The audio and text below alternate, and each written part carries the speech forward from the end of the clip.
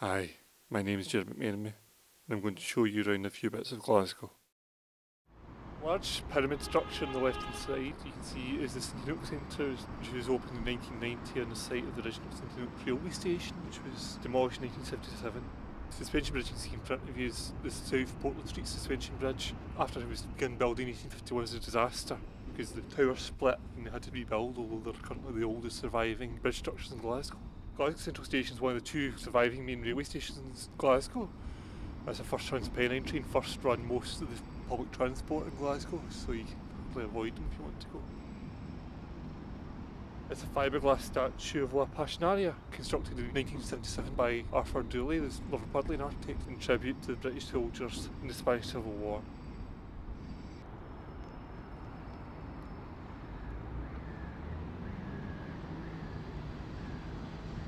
About to see St Andrew's Cathedral. It's the main Catholic cathedral in Glasgow, constructed between 1840 and 1816.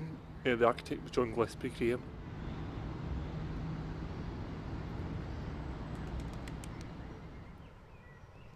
Rottenrow Gardens was opened in 2004 officially. Previously it opened in effect in 2003 on the site of the former Royal Maternity Hospital. Which was moved to Royal Infirmary in 2001 and the site was demolished in 2002. Large safety pins statue, a monument to maternity, tribute to the many children who were born in Rottenrow Maternity Hospital. You see various buildings, Strathclyde University, which completely surrounds it.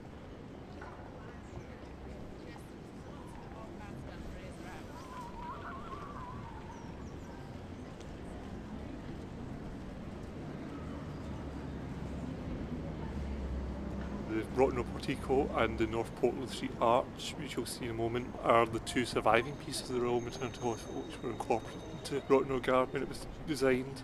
See the architecture building in the far top left, the Colville building, and Livingstone Tower. And the bottom right building there's the Collins building, which includes a small art gallery.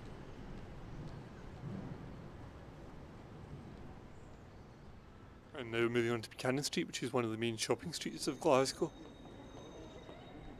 Princes Square is a shopping centre, mostly restaurants and other non-essentials. Man in the bottom left hand corner is not a statue, he's actually a person you often see around Glasgow made up to look like a statue and holding himself very still for long periods of time.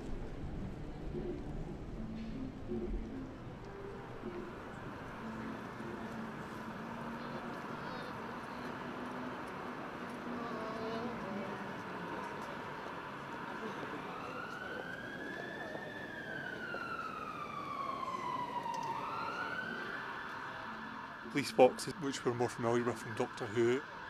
This particular police box was actually a coffee kiosk for a short time in the early 2000s.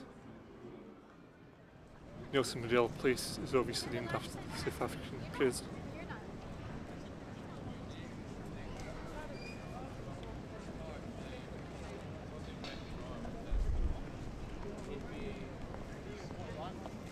Uh, the Glasgow subway is actually a ring rail rather than a large network, it's one of the oldest subways in the world, dating from 1896, predated only by the London Underground and the Budapest Metro.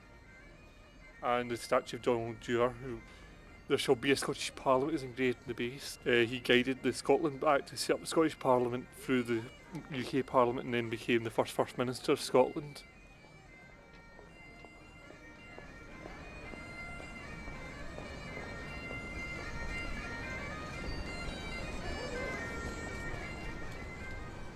And now moving on to the Glasgow Necropolis, which was opened in 1832. We're looking over the Bridge of Sighs, looking toward the entrance of the necropolis. There are over 50,000 individuals buried in the necropolis.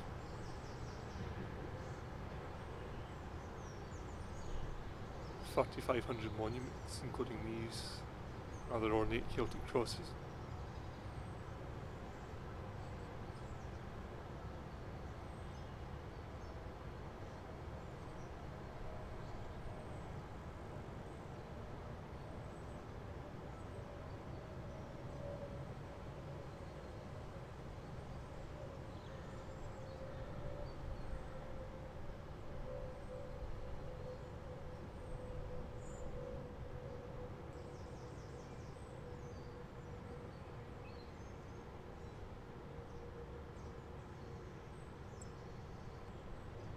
We're about to look toward the Glasgow Cathedral. It was originated in the late 12th century, but it was mostly built between the 13th and 15th centuries. It is technically no longer a cathedral because although it survived the Reformation relatively unscathed, it is currently ministered by the Church of Scotland, who as a Presbyterian church not have bishops and therefore do not formally have cathedrals. And that concludes our short tour of Glasgow.